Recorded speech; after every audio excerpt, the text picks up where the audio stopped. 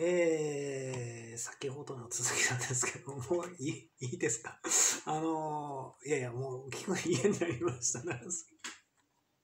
面白いのは面白いとは思うんですけど、まあ、いろんな人の名前が出てきたりとか、まあ、そういう部分あるかと思うんですけども、まあ、あのー、今の時刻、14時19分、先ほどの続きなんですけども、びっくりするようなこと、今から言いますよ。まだ今日朝ごはんを食べてないんですよ、昼ごはん。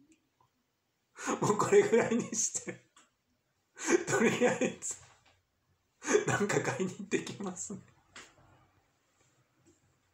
やっと寝たの、朝の4時半ぐらいに終わった。ね、朝のある程度の時間帯には目覚めてる。あんまり寝てない。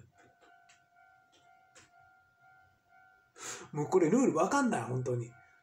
あの、何がどうなってるのか。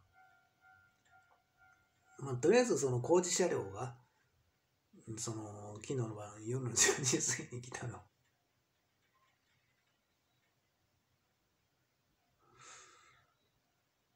眠たくはなってたんですけどね。いや、もしかしたら無理やり起こされてた方かもしれない。わからない。で、あの結婚話の件に関しても、だいぶややこしい。で、電波に関しても、ルール法律である程度稼働する部分がありますから、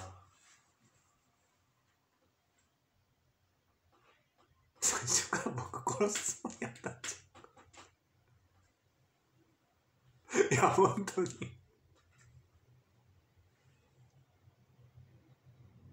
もう今の、その、現役の？世代の人たちからしたら、そんなことになってるとは知りませんでしたので、多分、ある程度は通用する。ただ、これ本当に、うん、抜け出す方法。なんかもう、こんなむちゃくちゃなルールを押し付けられてたら、なんかもう、暴力団から抜け、スーパーコンピューターを行政。国国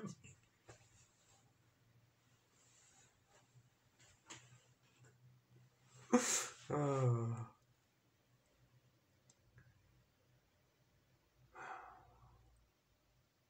ちょっともうこれぐらいにして今回行ってきますね以上です。皆さん、長い間ご清聴ありがとうございました。一応、あの、一気に聞かなかったら、途中で、途中から聞いたらもう何の話してるかわけわかんなくなるでしょ。大おじさんあんなにたくさんいろんなこと言う。何回も聞いてたらだんだん覚えますよ。以上です。